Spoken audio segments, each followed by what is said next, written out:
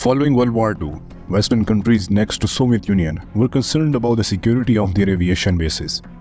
The Dornier Do-31 vertical takeoff and landing personnel transport was created by the new German Air Force, the Luftwaffe. Three prototypes were created by the German engineers, resulting in a troop transport with 10 engines.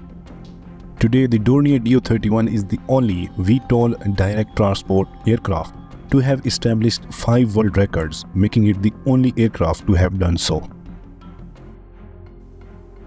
Tensions with the Soviet Union developed after World War II, victors partitioned and occupied Germany. Concerns were raised during the Berlin airlift in 1948, when the Soviet Union restricted access to the city's western sector, forcing allies to resupply the region by air. The US military leadership considered the potential of a third global war and Soviet strikes focusing on vulnerable airfields on German land. Aircraft could not take off without large runways, while ordinary subsonic aircraft only needed roughly 100 meters to take off during World War II. The introduction of jet engines and, aircraft transformed aviation, making it quicker and more dangerous. They did, however, needed long runways, which were viewed as a liability, particularly near Soviet borders. Western Germany was therefore rendered defenseless, allowing the German Air Force to be rapidly neutralized. As a result, Germany invested substantially in the vertical takeoff and landing VTOL aircraft in order to ensure the safety of its airfields and the stability of its air force. The Germans developed vertical takeoff and horizontal flight VTOL aircraft to meet their aviation demands. Long runways and airfields would be unnecessary, allowing them to be hidden in the countryside or used as tiny operations bases. The German military might even launch these planes from the Autobahn network. West Germany began investigating a VTOL air force in the 1960s, while the Luftwaffe adopted its Lockheed F-104 starfighters to rocket launch them from stationary ramps. The objective was to develop a safe and effective platform capable of swiftly launching aircraft into the sky while maintaining a quick operating reaction force in the shortest period of time. The project, which had some success, was suspended in 1962 with true VTOL aircraft. For tiny bases or Autobahn launches, the Federal Ministry of Defense required a VTOL aircraft. Positive VTOL fighters had been tried by the British, French, Soviet, Americans and the German aircraft, notably the Hawker Siddeley Rizobozek and the Lockheed Hummingbird.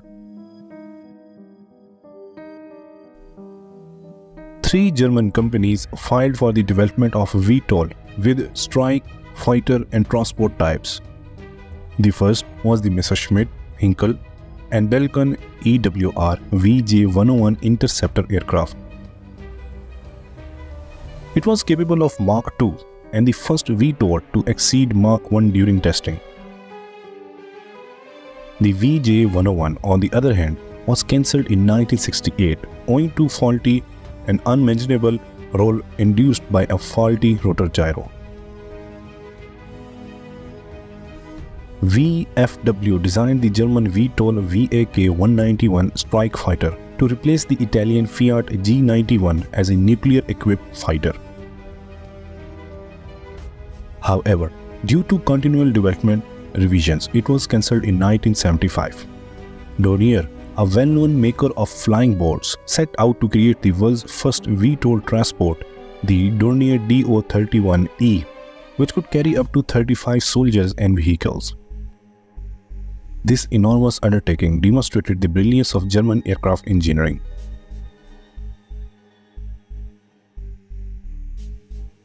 Dornier, which has a history of creating VTOL platforms, sought to create a short takeoff and landing vehicles STOL using a modified Do-27 light transport. The Do-31 was intended to be more than just a medium transport aircraft with two underwing pods housing Bristol Pegasus 5 vector thrust turbofan engines and two wingtip pods housing Rolls-Royce RB162 4D engines. These engines produced over 65,000 pounds of force and made a loud noise. The Do-31 could carry 36 fully outfitted soldiers and goods, including three mini jeeps that could board via a landing ramp at the back. With a maximum cargo capacity of 11,000 pounds and a range of 1100 miles, the Do-31 was a successful aircraft. The flight control system created by the German engineers was credited with its success. NASA scientists from the Ames and Langley research centers aided in research on transition approaches and vertical landing phases. The Do-31 also had an innovative hybrid computer system for flying stability.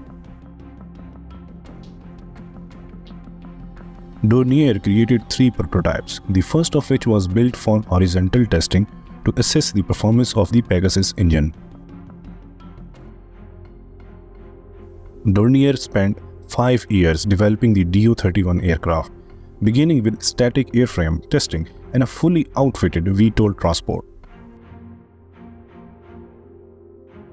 If the engine noise could be minimized, the business envisioned a commercial Do-31 transport in February 1967, the main test pilot, US Marine Drury Wood, flew the Do-31 for the first time, switching from horizontal to vertical flight. Wood complimented the E-1 for its simple, traditional design which had Pegasus nozzles for short aerodynamic takeoff and landings. After the first trip, Wood felt at ease on the plane. The Dornier Do-31, dubbed the Reluctant Dragon, displayed its capabilities during a series of test flights. It was called after an occurrence in which exhaust fumes rebounded off the ground, resulting in one-of-a-kind takeoff attempt. Despite minor hiccups, the Do-31 performed admirably. Wood flew the Do-31 to the Paris Air Show in May 1969, establishing multiple world records with a ferry flight. With permission from the Federal National Aeronautics International, a German co-pilot demonstrated the Do-31's capacity to fly like a VTOL fighter. All those years ago, Wood, an American test pilot, achieved five world records speed, distance, altitude, speed over a course, and endurance. In 1968, he got the Ivan C. Krasnov Award from the Society of Experimental Test Pilots and in 1970 he was awarded the Federal Service Cross by the German President Gustav Heinemann. The Do-31, despite its promise as the world's sole VTOL transport, was terminated in 1971 owing to lack of money and lack of NATO partners. The Do-31 made its final appearance at the International Aerospace Exhibition in Hanover before being kept until it was repaired and showed at the Deutsches Museum. Do-31 still maintains the record for the most VTOL transport ever constructed. Thank you for watching my video. You can find more videos on German aircrafts from World War II on this channel. Subscribe if you like more content like this.